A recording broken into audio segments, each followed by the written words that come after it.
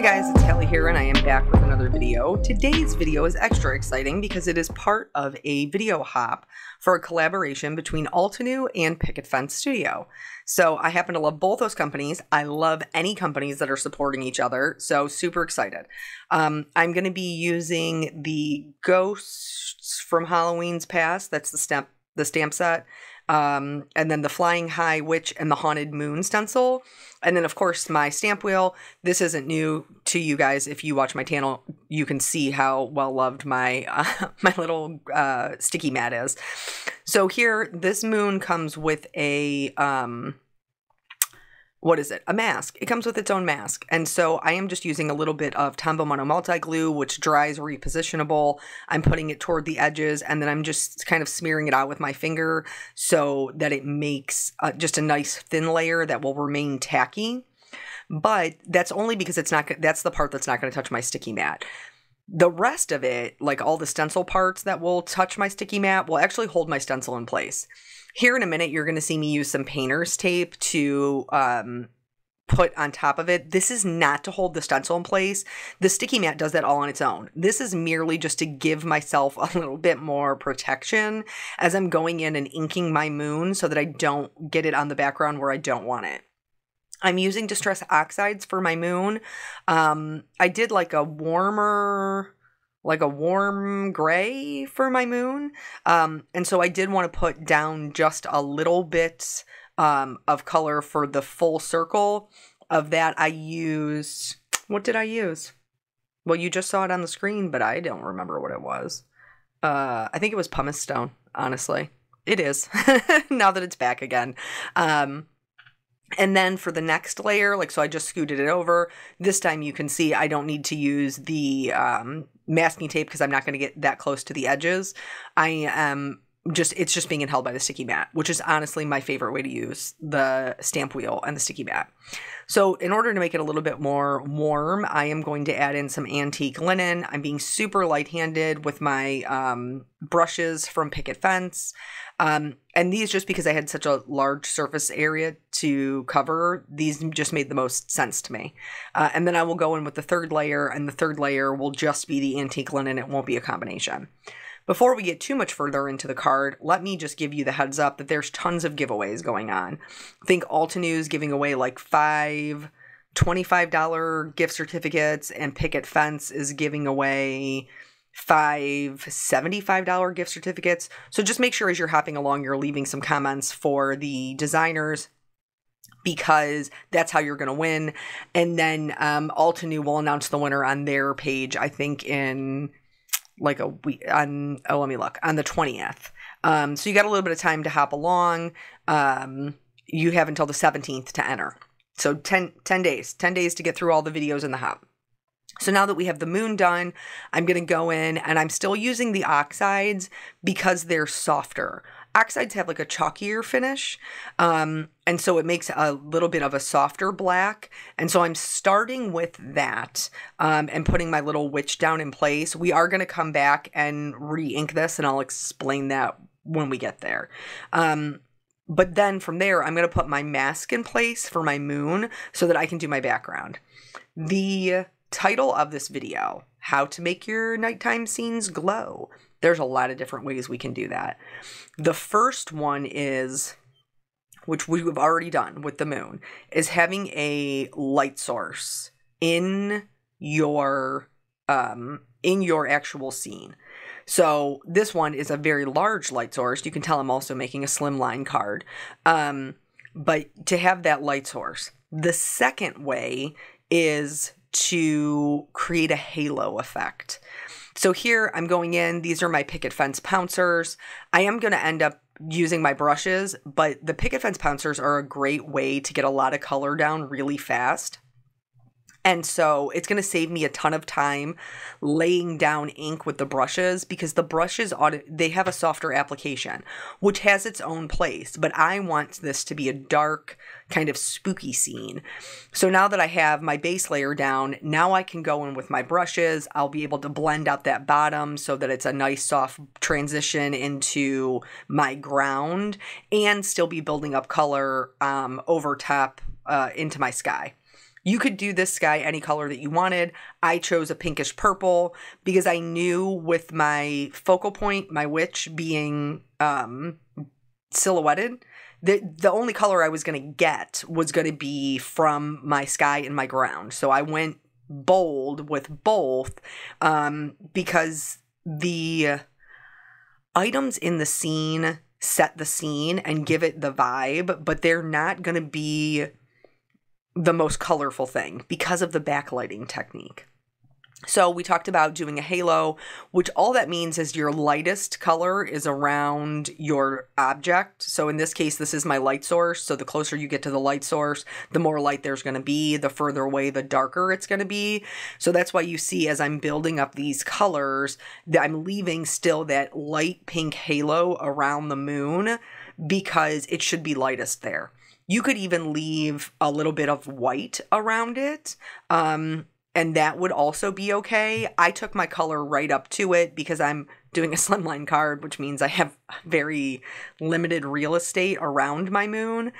And then the other way that you're going to help your glow is you have to put in shadows. You have to put in darks to make those lights pop. So even though I worked all the way out to my darkest purple, which was Villainous Potion, which is a very dark purple, I still went in with black.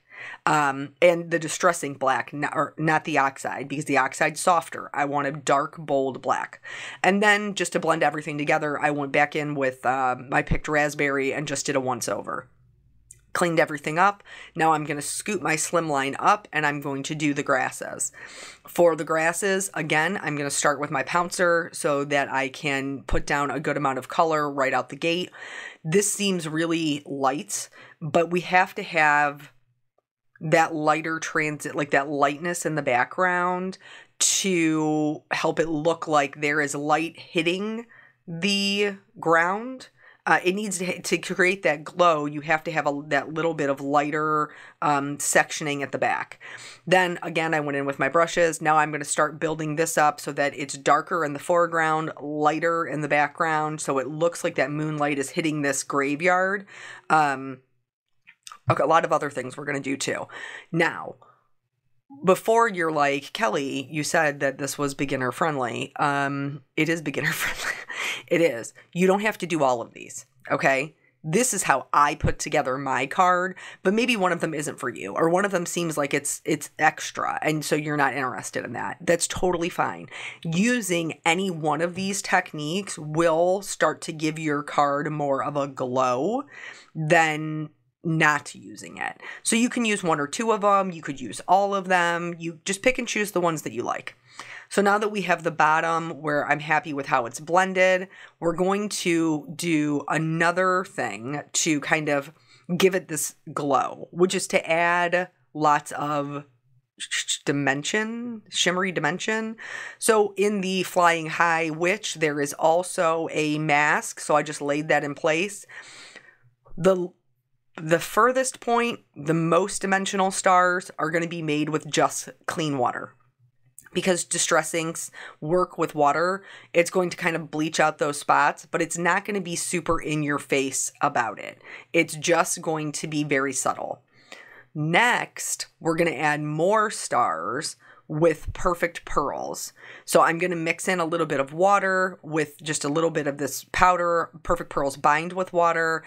And then I'm just going to use my hand to block the grasses because I don't want it to get on the grass since I am creating like stars. If you were creating more of like a ethereal kind of spooky forest vibe, I would have done the grass too. So now we've got the perfect pearls. The next thing I'm going to do is I'm going to bring in this Altenew iridescent shimmer spray. The Perfect Pearls has a white shimmer. This has like a pinkish purple shimmer. And I'm going to spray it from up top really high, like probably a good 12 to 16 inches away from my project. And I'm just going to spray two quick sprays. Some of it will be some splatter, but there will be a lot of mist too. And that mist is going to give us this really shimmery, glowy effect. Last but not least, we're going to do some stars with some white acrylic paint.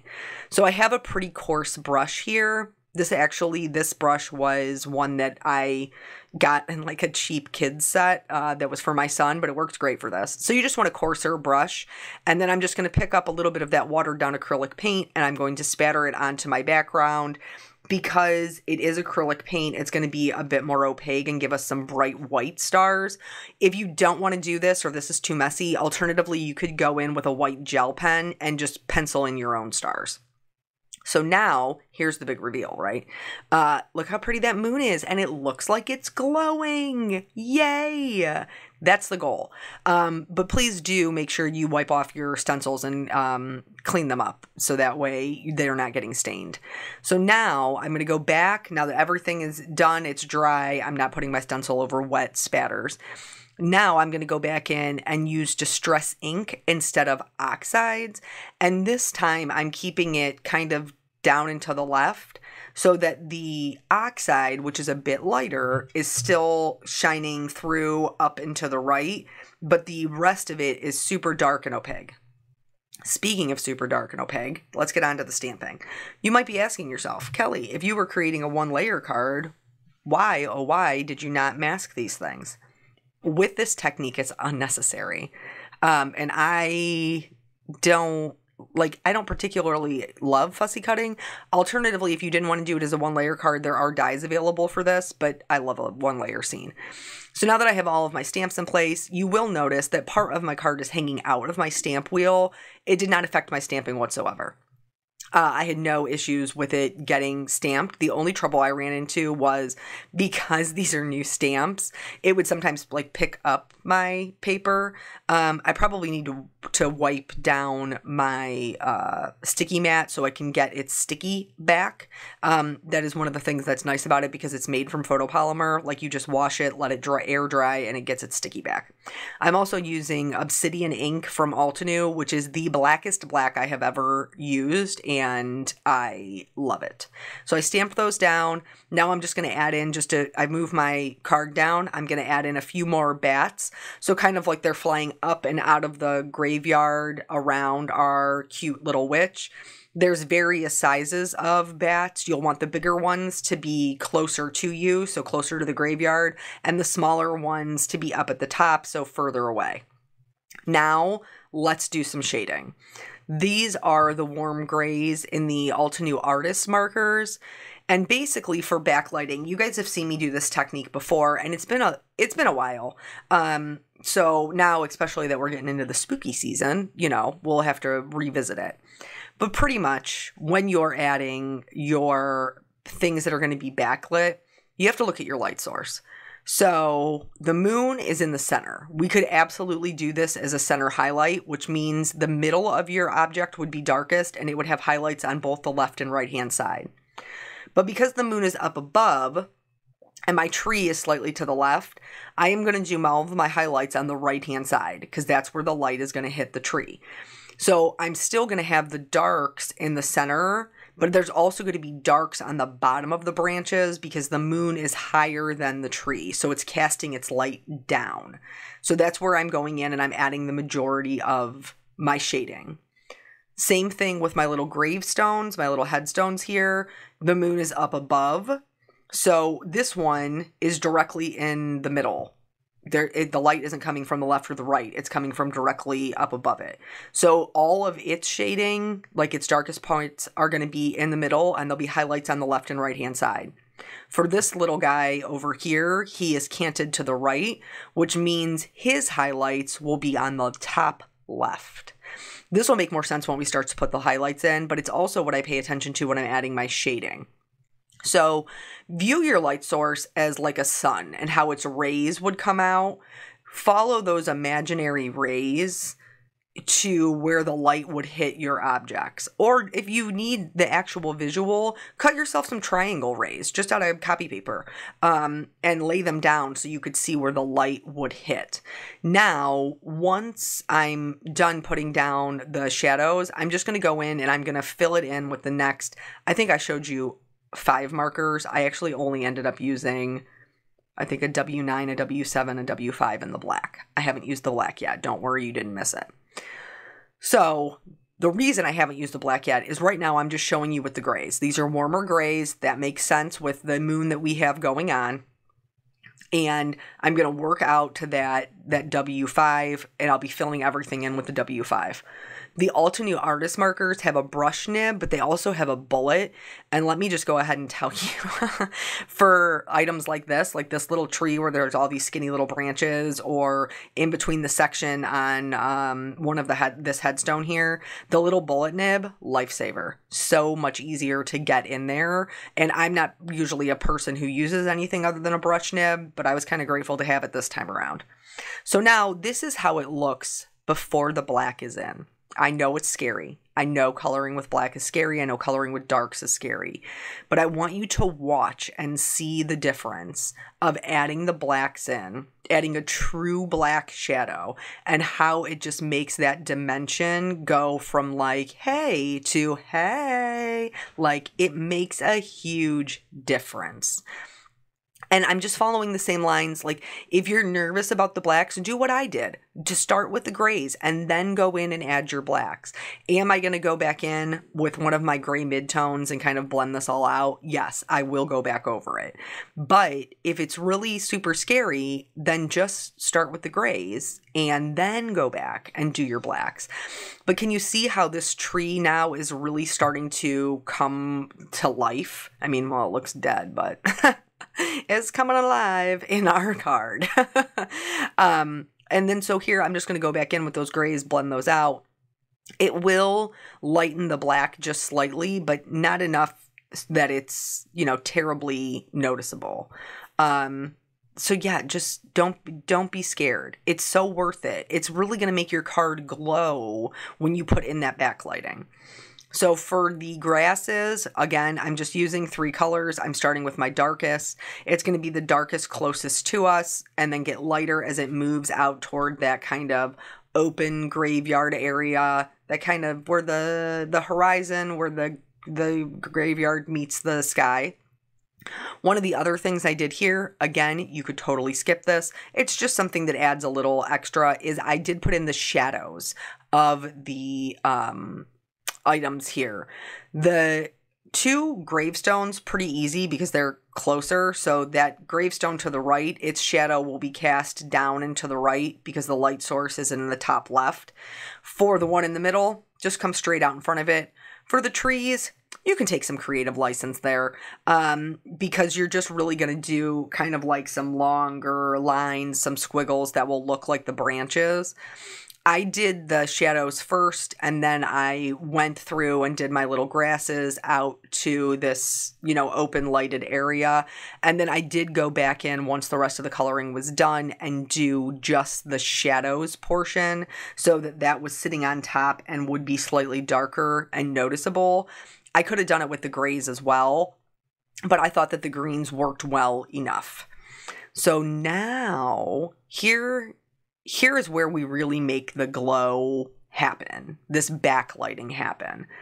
And it's your white gel pen. Okay, I use a number 10 Gelly Roll. You use whatever makes you happy. If you have one that you like, you got a Signo, you got something else that makes you happy, use it. So, what I'm doing is I'm going to go in and I'm going to lay down just some kind of like skippy lines of white gel pen, and then I'm going to just pat it with my finger. This keeps it from being this like garish, ostentatious white highlight. That's not what we're going for, and turns it into a bit softer. It kind of smushes it out a little and blends it in. And it makes the whole thing like really come together like these things are picking up the light it's hard to see with the witch and the bats because there is no contrast you know what I'm saying? Like there's contrast between the witch and the moon, but once you put the highlight in, there's really no contrast between the moon and the highlight. You can see it much, much better in these darker areas with the trees. And so again, I'm adding my highlights the same way that I added my shading. The highlights are going on the top because that's where the light is going to hit it. So this tree is down to the bottom left. Its highlights will be up to the top right and that is how I'm going to add them.